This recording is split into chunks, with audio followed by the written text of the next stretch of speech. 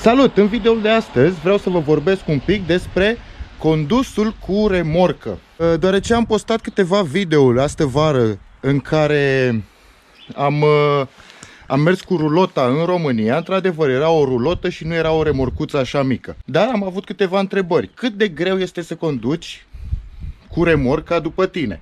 Cât de greu sau ce rulotă ar trebui să-mi cumpăr? Una cu două axe sau una cu o axă? Și m-am gândit acum, pentru că tot trebuie să plecăm cu remorcuța de acasă, să vă vorbesc un pic despre ce înseamnă să conduci cu remorcă. Într-adevăr, eu sunt șofer profesionist și zi de zi ăsta este jobul meu, să conduc cu remorcă. Dar când conduci o mașină, când tractezi o remorcă cu o mașină, este total diferit față de atunci când o tractezi cu un cap tractor și o remorcă din aceea mare care vedeți voi la camioane. Așa că Haideți să vă spun câte ceva despre remorcuțe. În primul rând, în Anglia nu este nevoie să faci verificarea tehnică a remorcii. Cade în, uh, în, cade în responsabilitatea șoferului să-și păstreze remorca rulotă, fie ea rulotă, fie ea o remorcuță așa mică, în condiții de bune de drum, pregătită. Uh, nu contează ce fel de rulotă este, ce fel de remorcă este. Că este una mică, că este una mare. Nu se face verificarea tehnică a ei. În al doilea rând, nici nu se înmatriculează. Iei numărul din spate de la mașină și îl pui pe remorcă. Eu mi-am făcut încă un număr separat ca să nu-l mai dau jos pe cel de la mașină. Contează foarte mult dacă este o remorcă cu o singură axă sau cu două axe. Acestea cu o axă, de obicei, vin după mașină, urmăresc cursul mașinii și nu trebuie să ai o foarte mare grijă la axa de drum, la cum iei curbele, la cum te încadrezi în sensurile giratorii.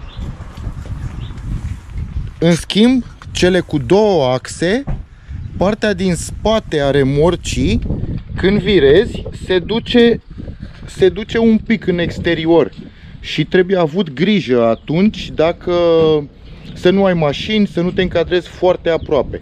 Dar eu de obicei când conduc cu remorca, în astfel de situații, când iau curbele sau în sensurile giratorii, e simplu, mă încadrez pe mijloc și știu sigur că nu am mașină nici în stânga, nici în dreapta, ceea ce e mult mai simplu pentru mine ca șofer, chiar dacă mă înjură cei din spate, nu mă interesează, măcar știu că nu lovesc nicio mașină.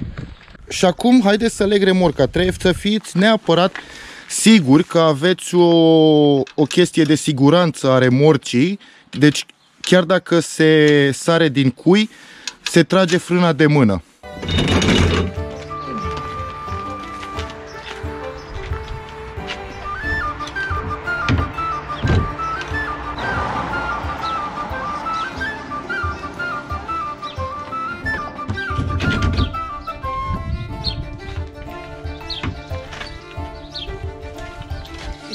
Când o vedeam în garaj, mi se părea uriașă.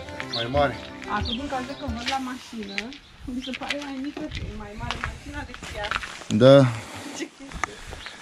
Uh, la fel, neapărat, înainte de fiecare utilizare, eu am verificat deja presiunea în roți, am verificat starea rulotei, să nu sară nimic de pe ea, să nu sară nimic din ea și acum o să verific și instalația de lumini, să văd dacă nu mi-au mâncat-o șoareci. Hai să vedem.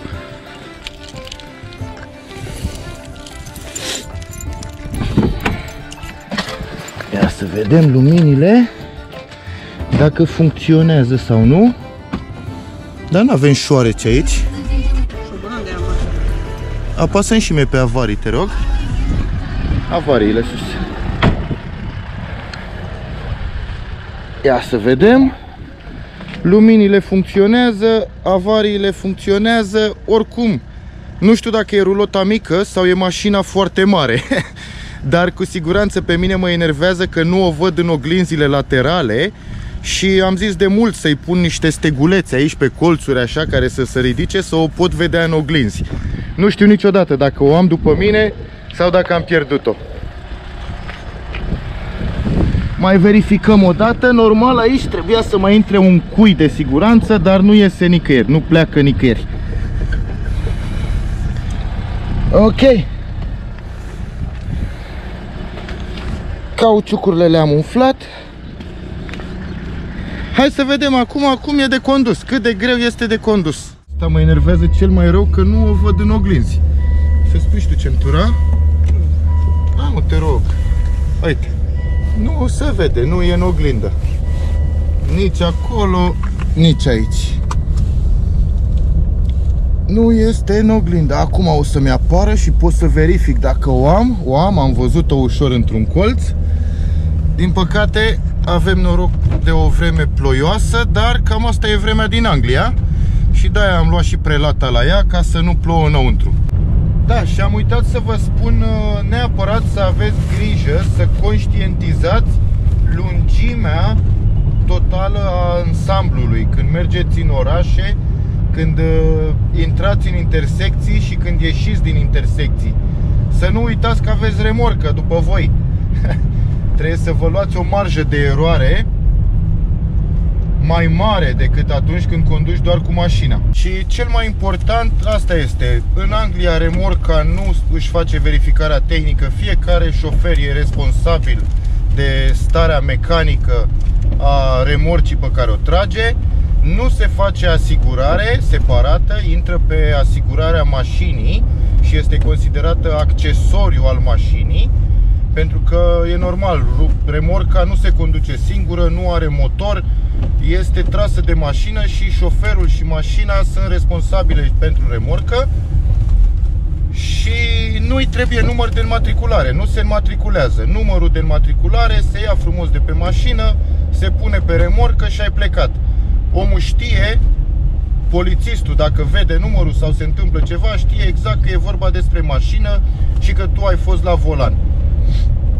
Dacă mai aveți și alte întrebări, nu ezitați să le lăsați în comentariu. Dacă v-a plăcut video, thumbs up și ne vedem la următorul. Până atunci, la revedere, pa, pa!